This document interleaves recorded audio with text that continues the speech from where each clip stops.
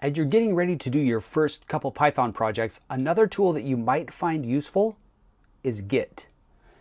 Git, spelled G-I-T, is a version control program.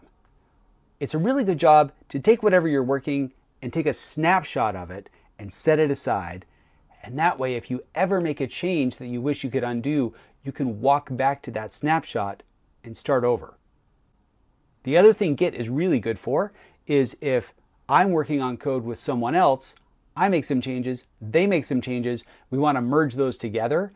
Git has great tools for doing that and being very clear about whose changes are being kept, what's being overwritten, and then being able to create a new snapshot of that that we can then both refer to and work from. It's good, the larger the team, the more important it is to have something like that to help everything work together.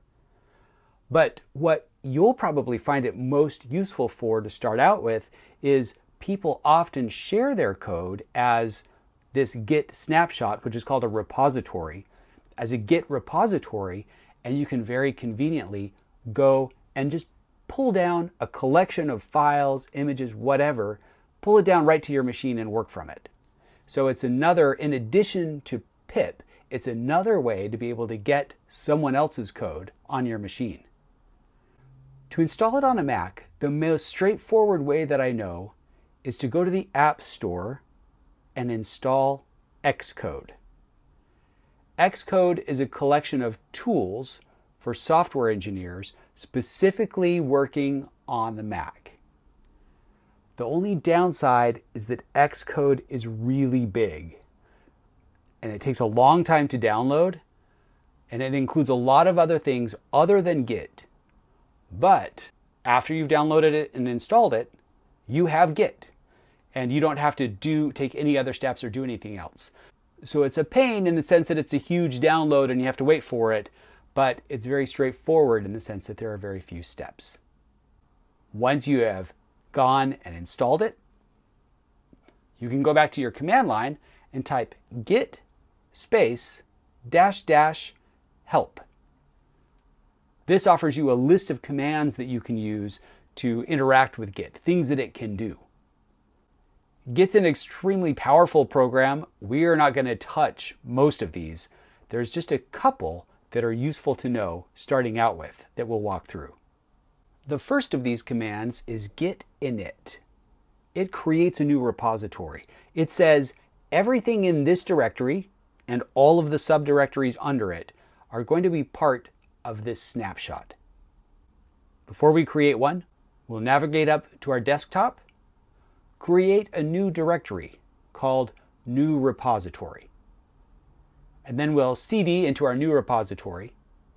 And then by typing git init, we create a new repository based in that directory. We can use the command touch readme.txt to create a new file that's empty called readme.txt. Then the next git command we'll need to know is git add and the name of a file. So in this case, git add readme.txt. This tells Git when we take a snapshot, include this file in that snapshot. By default, it's not going to include anything. The next thing we do is git commit dash am so include all the queued up changes, including this added file. And then M says with the message, and then we give it that message in quotes. README added. This is a very short message that explains what changes we made with this commit. Commit is the command that tells Git to take a snapshot of all the files that it's tracking right now freeze it at its current place, save that out, and then add this little note, readme added. We get some helpful feedback from Git that one file was changed. To see a history of our commits, we can type git log. This gives us some helpful information.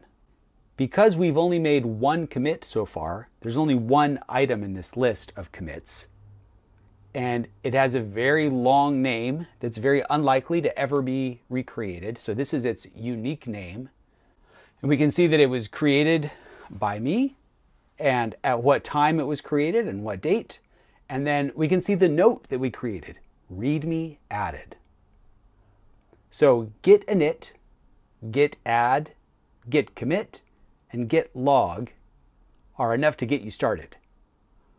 Included with the notes of this video are a helpful, there's a helpful website with the basics of Git, how it works, and instructions to do the things that you might want to do. I've also included a link to some Git resources in case you feel like going deeper or need to know more of what's going on. There's some fantastic online resources. Git's a powerful tool, and because it's powerful, some of the things it can do are a little complicated.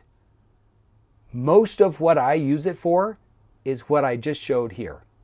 Add, commit, occasional log, and occasional init. There's more you can do with it, and if you ever need to, the resources attached will help you navigate that.